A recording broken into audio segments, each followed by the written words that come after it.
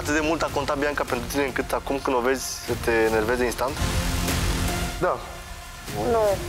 Păi tu m-ai refuzat. Cum am contat eu Hai, pe... termin-o, că de la refuzarea ce ai făcut tu, nici n-ai rost să discutăm. Tu m-ai refuzat înainte Da, ca bine. eu să fac orice. Au, Bianca, acum că ai auzit vorbele lui Laurențiu, îți pare rău pentru ce ai făcut în gala? ce se pare rău că are ea părere de rău? Trebuie să ai suflet în primul rând ca să poți să ai părere de rău. Iară. E o fată Are, are, numai că la... Nu vreau să vă zic unde. Trebuie să meargă să-și scoată. Scuti. Ama, amane e mult spus.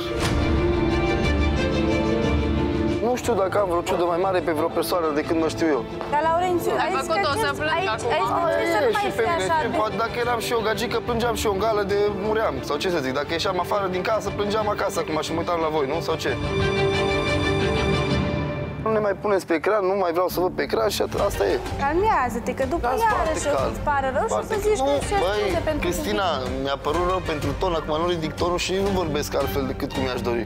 Păi înseamnă, Laurențiu, că tu eu am ești la ea, că altfel făcut n-ai fi atât de în afectat. esență tot ceea ce am zis. Nu regret nimic în esență din ceea ce am zis.